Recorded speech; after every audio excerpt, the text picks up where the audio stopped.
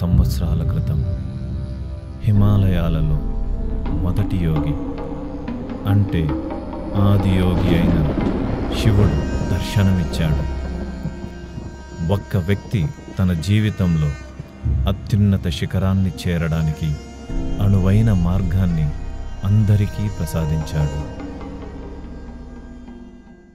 மனிதனு அவன் இப்போ இருக்கிற பரிமாணத்துக்கு மேலே முயற்சி செஞ்சால் அவனுக்கு வளர முடியும்.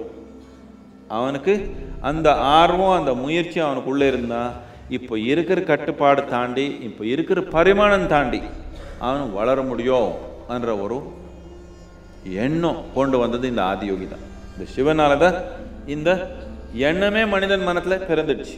அவன் உருவாக்கின அதிர்வு அவன் உருவாக்கின கருவி அவன் உருவாக்கின நோக்கம் இவ்வளோ ஆயிரம் வருஷம் ஆனாலும் எடுக்க முடியல. யாருனாலும் எப்பவுமே அதை எடுக்க முடியாது. எதுக்கு எடுக்க முடியலன்னா இதுக்கு ஒரு அடிப்படையான மூல சக்தி உருவாக்கி இருக்கிற ஒரு தன்மை வெறும் நம்பிக்கையில் நடக்கிற தன்மை இல்லை. நம்பிக்கைன்னா வெறும் நம்ம மனதில் மட்டும்தான் இருக்குது. இது அப்படி இல்லை. நம்ம மண்ணில் நம்ம உயிரில் நம்ம கல்லில் எல்லாம் கலந்து போச்சு.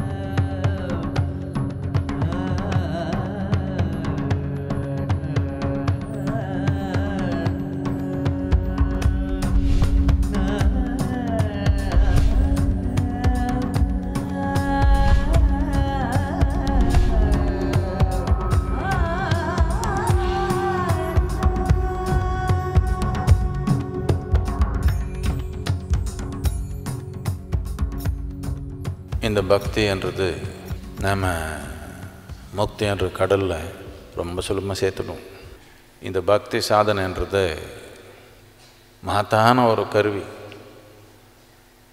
யார் இதில் முழுமையாக கரைஞ்சு போயிடுவாங்களோ அவர் வாழ்க்கையில் நான் எங்கே போக போகிறேன் எனக்கு என்ன கிடைக்குது? எனக்கு இது கிடைக்குமா? அது கிடைக்குமா? இந்த கவலை தேவையில்லை அந்த மனிதனுக்கு.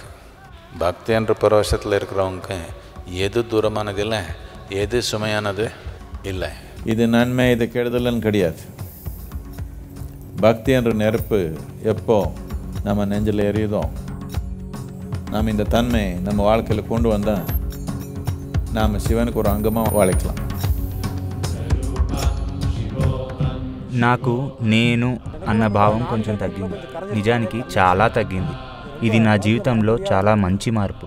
మన సంస్కృతి ఎంత గొప్పది దాన్ని ఎంత గొప్పగా తీర్చిదిద్దారు అన్న విషయాలను నేను తెలుసుకున్నాను. నేను దానిలో కేవలం ఒక చుక్క రుచి చూశాను. మిగిలిన వారు నన్ను చూస్తున్న తీరే మారిపోయింది. నాకు వారు ఇస్తున్న గౌరవం చూస్తుంటే ఎలానో అనిపిస్తుంది. I felt that the entire existence supporting me in the process of my sadhana which was a great blessing